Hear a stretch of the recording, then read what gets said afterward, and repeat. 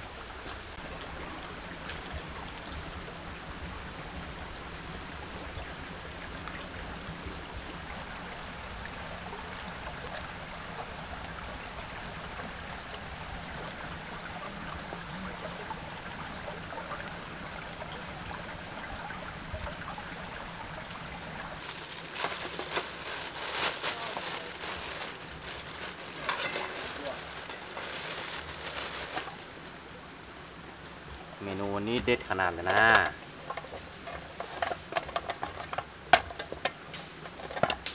รอชมนะครับทุกคนเมนูวันนี้นะ เด็ดจริง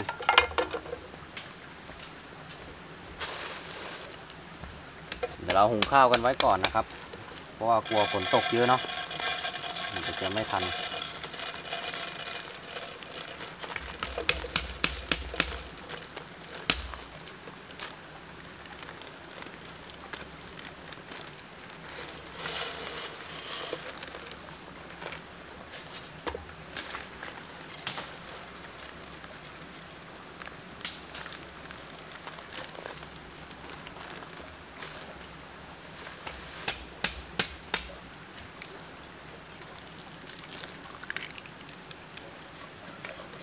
เราย้ายเตาไฟไปอยู่ตรงนู้นนะครับ แล้วก็เดี๋ยวเราจะทำเตาไฟใหม่ตรงนี้นะครับ เป็นเตาไฟดินเหนียวนะครับ ไม่รู้ว่าจะได้หรือเปล่านะ เดี๋ยวลองดูกัน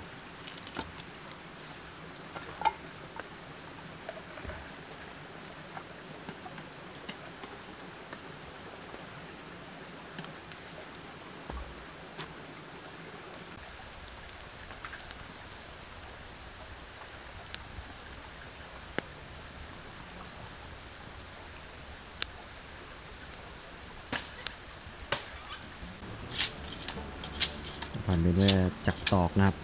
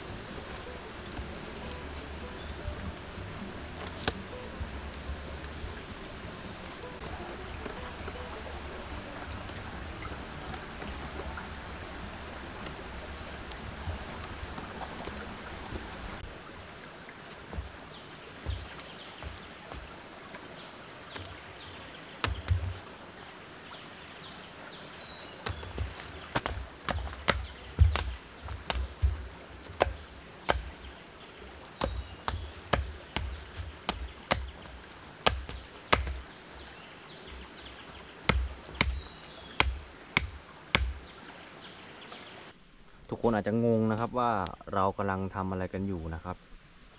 นี่คือเตาดินเหนียวนะครับ อันนี้คือเราทำโครงไว้ละ ก็น่าจะก่อไฟด้านล่างนะครับ ให้มันเป็นเหมือนเตาแก๊สเนาะไฟก็จะขึ้นด้านบนนะครับ ใช่ ประมาณนี้ แต่ผมว่ามันค่อนข้างสูงไปนิดนึงมั้งเราอาจจะเอาหินมาเรียงตรงนี้เนาะให้มันแบบว่าสูงสูงๆนิดนึง จะได้ไม่เปลืองฟืนนะครับอันนี้ก็เป็นการทำครั้งแรกนะครับ อาจจะผิดถูก เราก็ไม่เคยทำเนาะเดี๋ยวต่อไปเราจะเอาดินเหนียวนะครับ ดินที่เป็นสีแบบนั้นนะมาโปะโปะๆๆนะครับ ด้านข้าง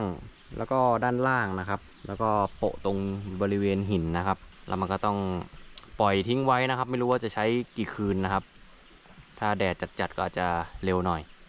ก็ถ้าเราก่อไฟให้มันแห้งมันก็ก็ใช้ได้ละอะพอใช้ได้เนาะ อะปะเดี๋ยวเราต้องลงน้ำไปเอาดินเหนียวกันแล้วครับผม โอเค พร้อมเปื้อนกันละ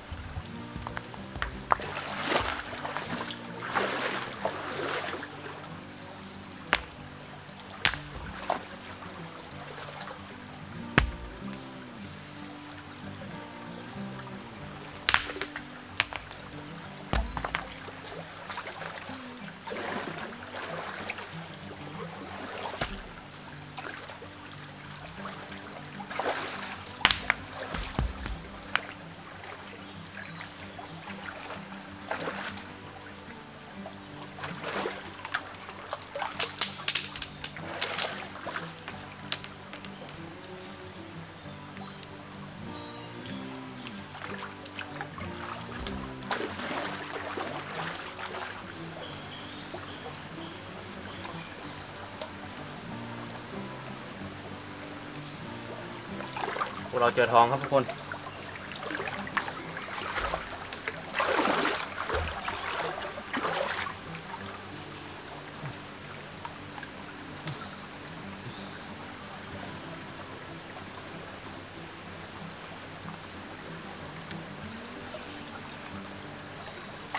ดีนะ วันนี้ผมได้กินข้อนึ่งหรอกครับเนาะอันอร่อยเลยแหละติดมือ ถ้ากินข้าวเหนียวนี่ติดมือแน่นอน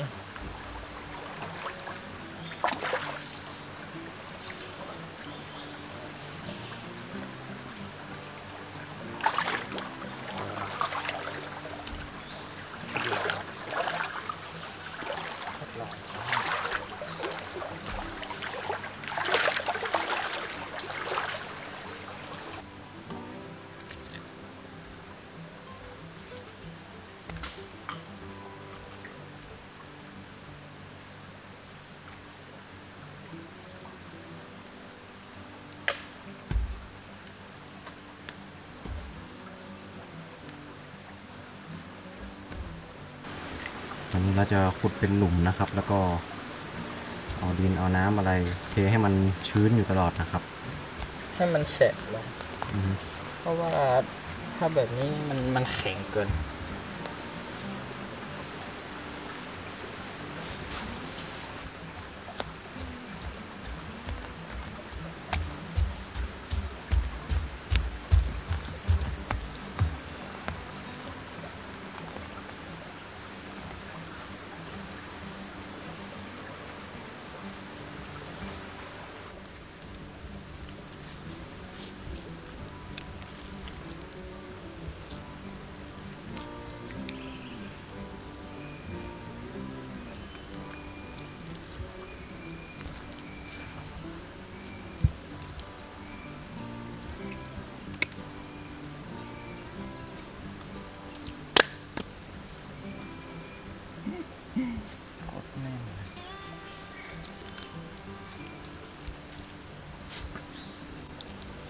ปะด้านในกั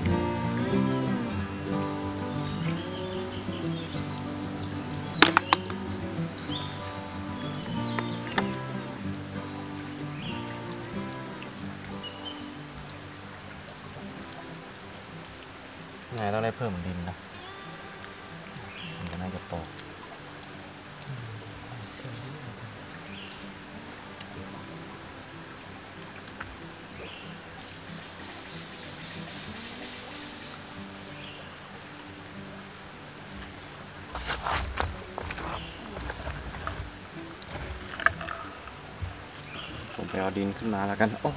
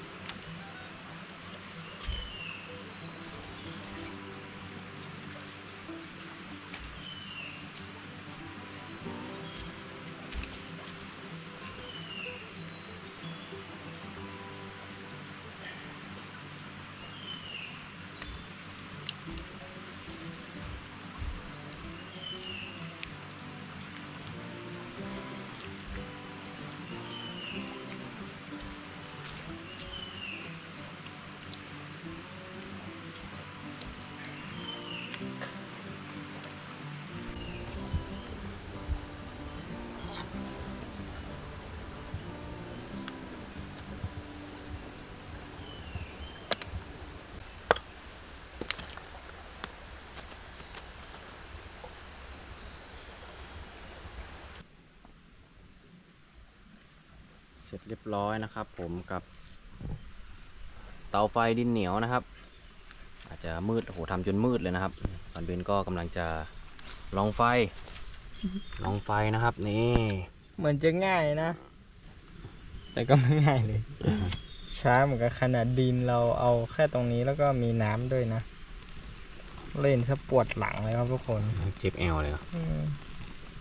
อะนี่ครับ ตอนนี้ดินมันยังไม่แห้งนะครับ แต่ว่าเราจะลองจุดไฟให้มันติดแล้วก็ให้มันแบบร้อนอยู่ในนี้เนาะให้มันร้อนแล้วก็ทำให้ดินมันแห้งเนาะมันจะได้แบบใช้งานได้ โดยเร็วผมก็ทำไว้สองรูนะครับอือฮึถ้าเราใส่ฟืนเยอะๆ มันก็จะใช้ได้ทั้งสองรูเลย แล้วก็หม้อนี้เอาไว้หุงข้าวหม้อนี้ไว้ทำอาหารแบบนี้นี่เป็นไงคีเอทนะครับ แต่ว่าไม่รู้ว่ามันจะได้ผลหรือเปล่านะ ก็เมื่อกี้เราก็อ่าดันพื้นให้มันสูงนิดนึงนิดนึงนะครับ จะได้ไม่กี่ยกอะฮะบนพื้นอะ ดันพื้นกันประมาณ 30 ยก อะไรครับเนี่ย ชอบงานแล้วละกับม่วนละ โอเค ตอนนี้ก็ บรรยากาศนะครับ มืดแล้วครับผมใช่แล้วเรายังไม่ได้ทำอาหารอะไรเลย เออ เดี๋ยวค่อยทำอาหารเนาะ เดี๋ยวขอพักอะไรสักแป๊บนะครับ นี่ดูพันพันเบนเขาอันนี้นะ อันนี้เป็นความคิดเขานะแบบว่าเอาหินเล็กๆมาโรยนะครับผม ให้มันตกแต่งไงตกแต่งอะ นี่นะครับ ประมาณนี้ไฟก็จะขึ้นมาตรงปล่องนะครับเราก็จะทำอาหารได้ โอเค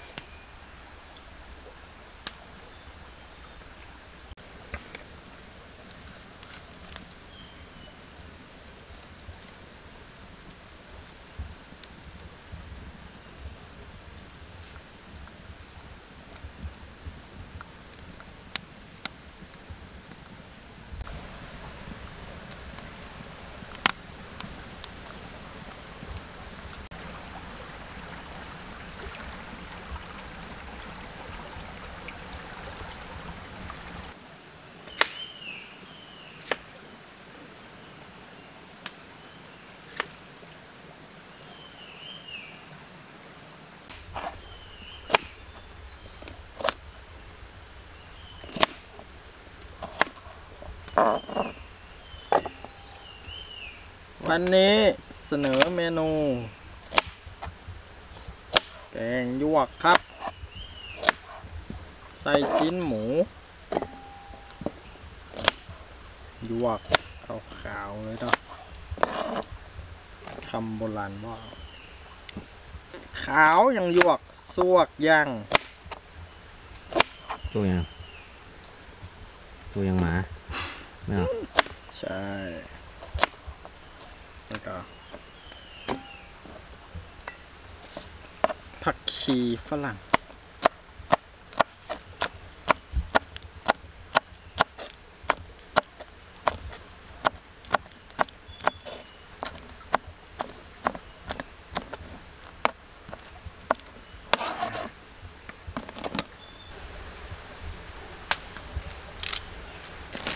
หอมป้อม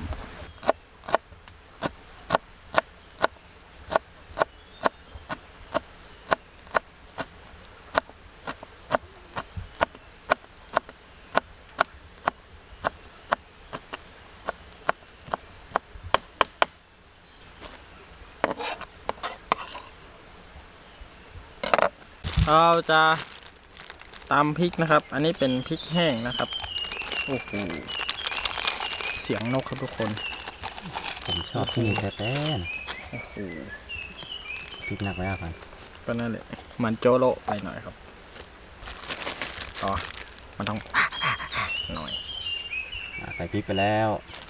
แล้วก็ตามก่อน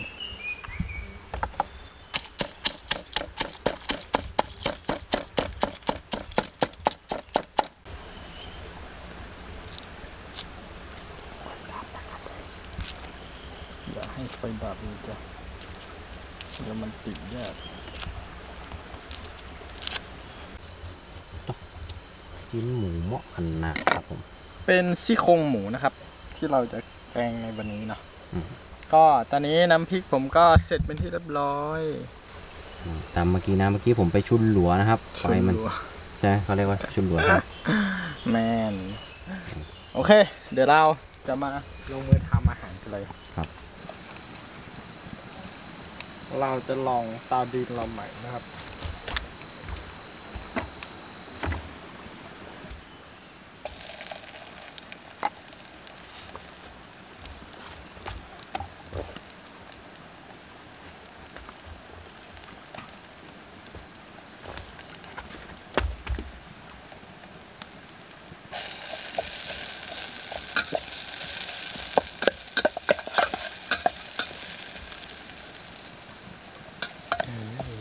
เข้าท่าเลยนะ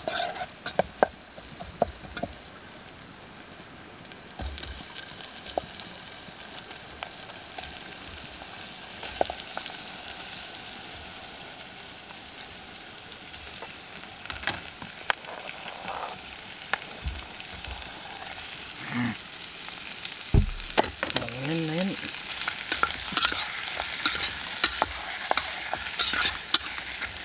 เราไม่มีวุ้นเส้นนะครับ อันนี้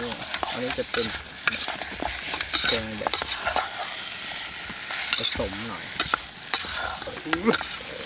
ไอเร่งแก๊สครับทุกคนดีแล้วตะกี้นี่พอผมมีแก๊สเลยนะดินมันชื้นด้วยครับ แล้วเราก็ฝืนทำนะ ปกตินี่ความจริงต้องรอให้แห้งก่อนอยากให้เห็นภาพไงอืมดกดกดก เหมาะขนาด ออกทั้งสองรูเลย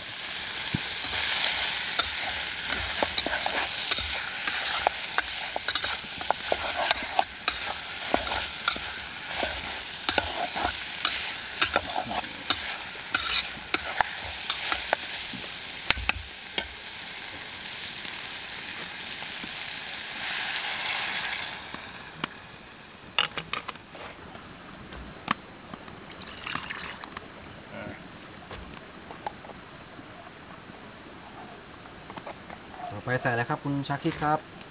ก็รอให้มันเดือดนะครับ แล้วก็ใส่หยวกลงไป ใส่หยวกแล้วก็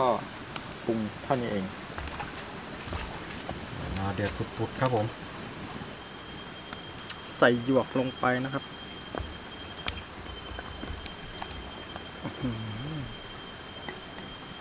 เต็มหม้อเดี๋ยวมันจะยอบอยู่นะครับนี่ออกไปอย่างครับ ยุบลงเออเต็มหม้อปรุงเลยไหมเดี๋ยวรอ มาปรุงกับปรุงมาก็มีชูรสกับรสดีเองนะครับ เดี๋ยวเราก็จะชิมถ้ามันไม่เค็มมากก็เราจะใส่เป็นเกลือแทนนะครับชูรสโอ้ไหวรุนแรงมากครับทุกคน โอ้โห รสดีรสดีเราเป็นก้อนเลยครับนี่กันนะน้ำตาลนะครับอืม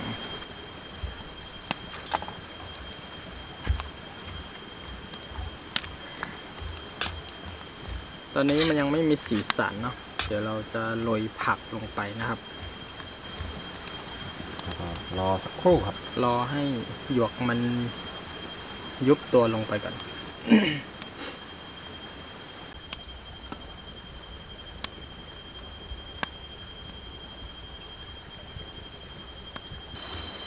นี้น่าจะเดือดได้ที่แล้วนะครับผม เดี๋ยวพันเบนก็จะใส่ผักนะครับ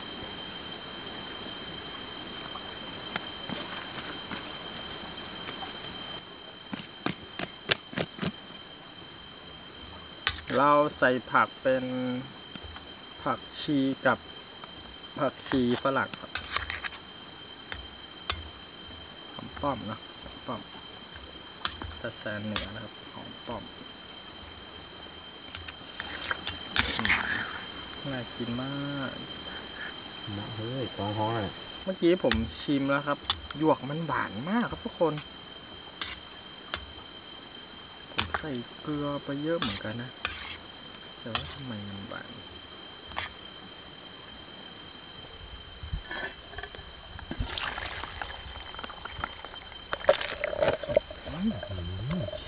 ร้อน มขนาดเลยนะ ห อมหมอ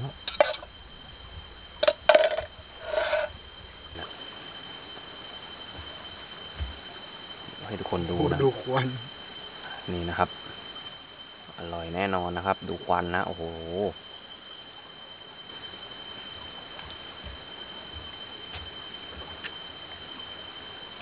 เหมาะขนาดครับวันนี้ หมูล้วนๆเลยเนาะ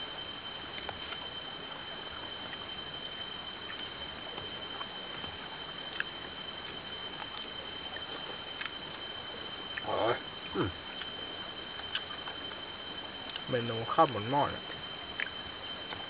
หยกแบบอ่อนโยกหวานเนาะๆหวานนะ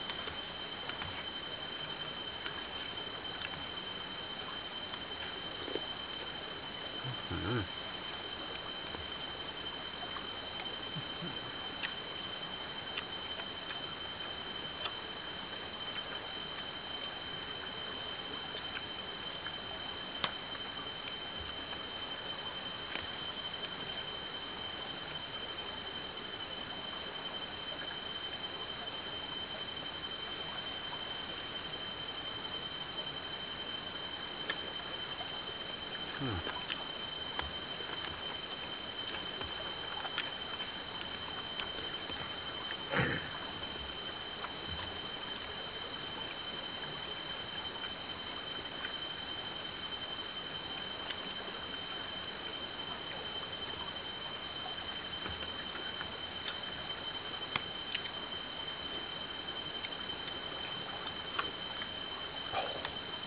เหมาะ ไร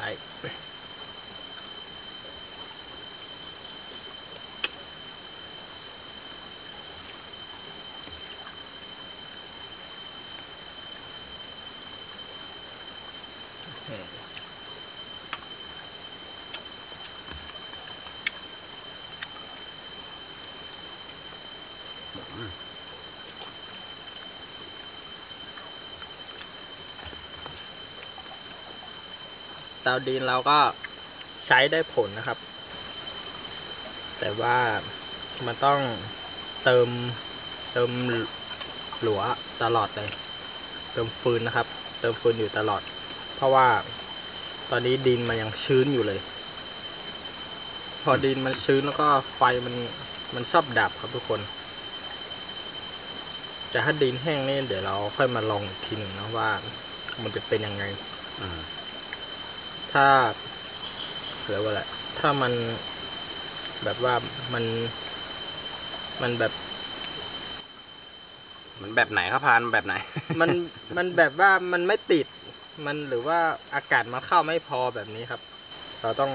ได้เจาะรูทำปล่องเนี่ยเหรอทำปล่องมันแต่คิดว่าน่าจะไม่เป็นไรนะ เพราะว่า รูเวลาเราเข้าเอาฟืนเข้าอะ มันใหญ่อยู่แล้วอืม ก็เอฟซีก็ลองดูนะครับว่า เตาดินเหนียวนี้ผ่าน QC หรือเปล่านะครับ โอเคหรือเปล่าเนาะแต่สำหรับพวกเรานี่คือมันโอเคแล้วนะครับอื้อหืออันนี้ก็เป็นการทำครั้งแรกนะครับ ครั้งแรกเนาะเมื่อก่อนเราทำที่บ้านริมน้ำก็จะเป็นยกสูงนะครับ ก็จะใช้ดินไม่เยอะมากนะครับ แต่ก็นั่นแหละ มันก็จะอ่าใช้ได้ไม่นานนะครับผม แต่ถ้าแบบเนี้ยผมว่าน่าจะค่อนข้างนานเลยนะ แล้วก็ น่าจะพร้อมสำหรับหน้าหนาวด้วยนะที่นี่นะครับ ถ้า ถ้ายังมีน้ำใช้อยู่นะครับผม อย่างที่ผมบอกนะครับที่นี่บรรยากาศค่อนข้างที่จะดีมาก ๆนะครับ ชาวบ้านก็ไม่ค่อยเยอะนะครับ แล้วก็ คือไม่ค่อยมีใครเข้ามาด้วยนะครับ บรรยากาศดีมากครับใช่ครับแล้วก็ส่วน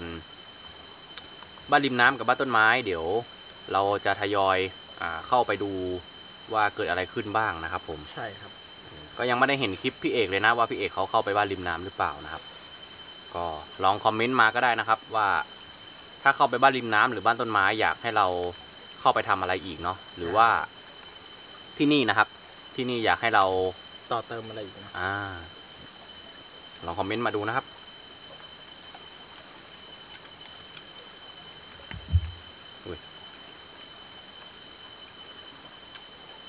ถ้าที่นี่มีปลานี่คือดีเลย ปลากั้งอะไรอย่างงี้เนาะ เราจะได้แบบ หาดักปลา หาปลาได้ด้วยอย่างเงี้ยครับ ปูยังไม่ค่อยเห็นเลยนะครับ ที่นี่นะ เห็นแต่คางคกนะครับ แล้วก็เจอกบเนาะ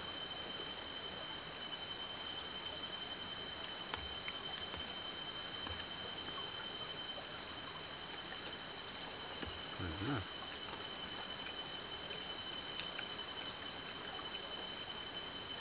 ห ยวกหวานหวาน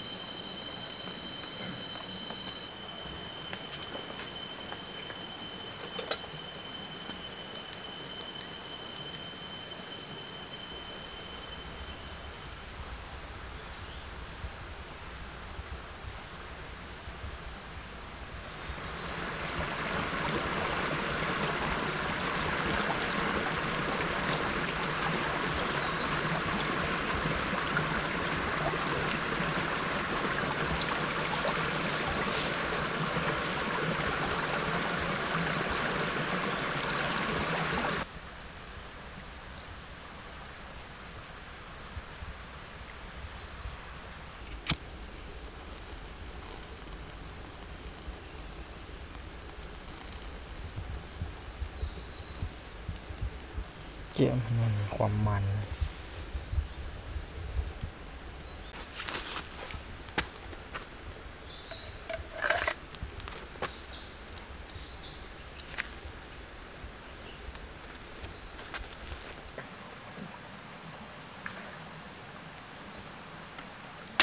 ประมาณนี้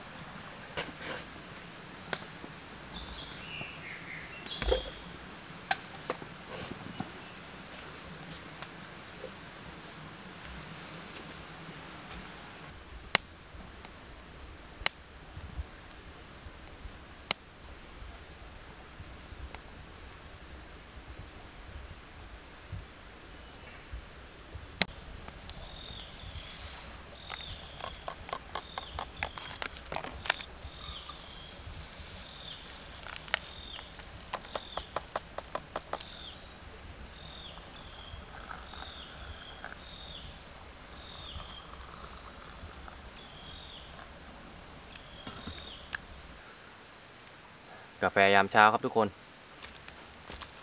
เอออุ้ยอะก็นั่งประมาณนี้แล้วกันเนาะไม่ใช่เหรอครับ ตั้งแบบนี้คือแบบว่าอยากจะอวดเตาไฟใหม่นะครับทุกคนเตาไฟทางนี้ต้องมานั่งนี่อืมนั่งเลยครับพันเบนซ์เอาหินอะไรมาตกแต่งก็หินมันเริ่มหล่นหมดเลยนะครับ มันร่วงนะเพราะว่าดินมันแห้งแล้วมันไม่ไม่ติดนะครับ แต่ว่า ความจริงเราต้องยาเหมือนปูนอะเอาดินเหนียวเข้าไปติดข้างใน ฉาบปูนเลยบอกก่อเลยบอกดินเหนียวนั่นแหละ ทนความร้อนได้ดีละเนี่ยอืมแรกๆมันแค่จะร้าวแบบนี้เองแต่ผมว่า work นะ ทุกคนว่า work ไหมครับ แต่เราต้องรอดูแบบว่าฝนตกหรือว่าหรือว่าอะไร มันจะ ละลายลงหรือเปล่าถ้าตกไม่เยอะผมว่าน่าจะไม่ละลายนะครับอืมมันก็ยังไม่แห้งสนิทนะทุกคยันงไม่แห้งเลย แต่ข้างในอะแห้งหมดละเพราะว่ามันโดนไฟนะครับ แล้วก็มีรอยร้าวอะไรเยอะเลยอ่าเออใช่ ถ้าเราใช้แบบนี้ไปสักสองสามวัน จุดไฟแบบนี้น่าจะแห้งหมดเลยเราอาจจะเข้ามาอยู่ที่นี่หลายวันอีกสักหนึ่งทริปเนาะเผื่อได้สร้างอะไรนะครับ ก็ใช่ครับอยากให้ทุกคนช่วยกันคิดนะครับ ผมว่าอยากให้ที่นี่นะอ่าใช่สร้างอะไรตรงนี้บ้างนะครับ ที่นี่ว่าควรต่อเติมอะไรอีกนะครับ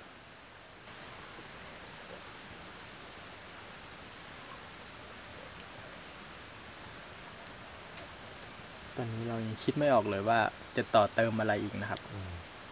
คิดออกก็ค่อยมาทำมานะการคิดแล้วก็เข้ามาทำเนอะอืม เราก็จะไปที่บ้านต้นไม้ไปดูอีกนะครับ เพราะว่าที่ตรงนี้คืออยู่คนละฝั่งกับบ้านต้นไม้บ้านริมน้ำเลยนะครับ คนละที่เลยคนละที่เลยนะครับ ก็นั่นแหละเราก็มาสำรวจนะครับสำรวจดูกันนะครับ ก่อนที่จะเริ่มทำเนาะใช่คลิปวันนี้ก็น่าจะมีเพียงเท่านี้นะครับ ผมให้มาดูบรรยากาศนะครับ บรรยากาศยังน่าอยู่นะครับน่าอยู่เหมือนเดิมนะครับใช่ครับ โอเคถ้าใครชอบอา คลิปนี้นะครับ ฝากกดไลค์นะครับ กดแชร์กด subscribe นะครับให้กับช่องบางหวันด้วยนะครับ ผม แล้วก็เดี๋ยวรอติดตามนะครับ คลิปหน้าเราจะไปที่ไหนกันต่อเนาะก็ฝากแชร์คลิปของพวกเรากันด้วยนะครับ ผมใช่ครับไม่ว่าจะช่องทางเพจ Facebook นะครับ ช่องบางหวันเนาะใครยังไม่ได้กดติดตามนะ ก็ไปกดติดตามได้นะครับ เพราะว่าตอนนี้เพจอ่าเพจ Facebook บางหวันจะถึง 1 0 0 0 0แสน หนึ่งแสนผู้ติดตามแล้วนะครับผโอ้มโหส่วน The Chef นี่แซงเรียบร้อยนะครับ The Chef ใช่ครับสุดยอดเลย ก็เดี๋ยวเราจะตามไปนะเดี๋ยวเราจะตามไปนะครับผมใน TikTok เราก็มีนะครับอ่า TikTok ก็จะถึงแสนแล้วโอ้โห ไปใช่ครับกดติดตามกันได้นะครับผมสำหรับวันนี้ก็น่าจะมีเพียงเท่านี้นะครับผมก็ ขอตัวลาไปก่อนนะครับ สวัสดีครับ สวัสดีครับ เจอกันคลิปหน้าครับ